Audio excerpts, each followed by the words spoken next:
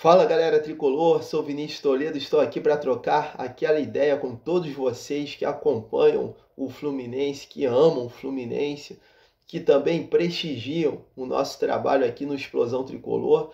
Aliás, eu queria agradecê-los pela presença na live realizada na última segunda-feira, né, quando ocorreu o sorteio da fase de grupos da Libertadores. E por falar na fase de grupos da Libertadores, eu vi muita gente comentando na televisão, jornal, é, rádio, é, internet, redes sociais, sites, tudo. É, pessoal discutindo muito sobre o grupo do Fluminense na Libertadores. É, pessoal, não, ó, sei não, tá esquisito pro Fluminense. Não, não tem nada esquisito não. O Fluminense de hoje é um time muito bem treinado, é, o Diniz realiza aí um trabalho espetacular. Não é à toa que pô, todo o meio aí é, do futebol, quase todo, é, o pessoal pede o, o Diniz até na seleção brasileira.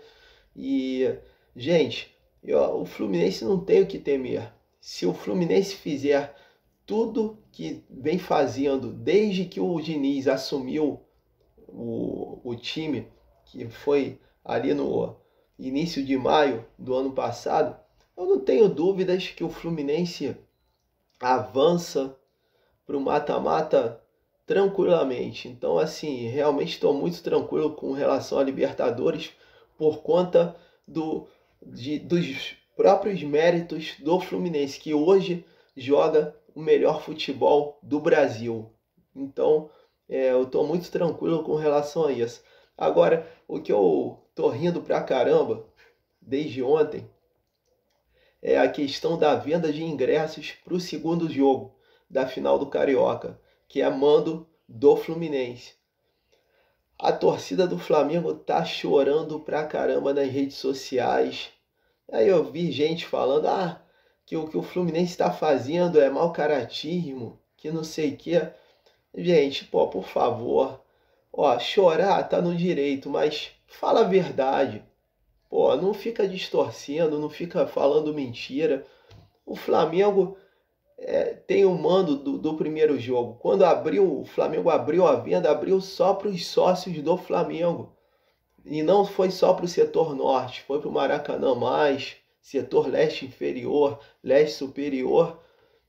Então, assim, é natural, pô. O Flamengo foi lá é, ocupou quase tudo ali de imediato.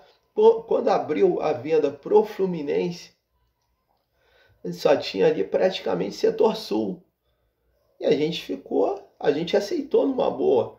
Agora, o que o Fluminense está fazendo agora é o que o Flamengo fez no primeiro jogo, é o que o Flamengo fez, fez na decisão do ano passado.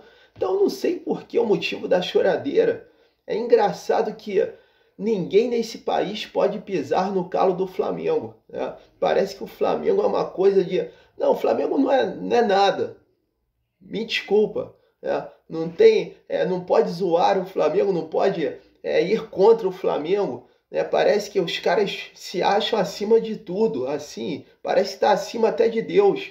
Pô, baixa a bola, flamenguista, baixa a bola e ó, se eu fosse vocês aí, eu, ia, eu já estaria muito preocupado é com futebol dentro de campo, porque se prepara que sábado começa o sofrimento de vocês. Um grande abraço, saudações tricolores. Tchau, tchau.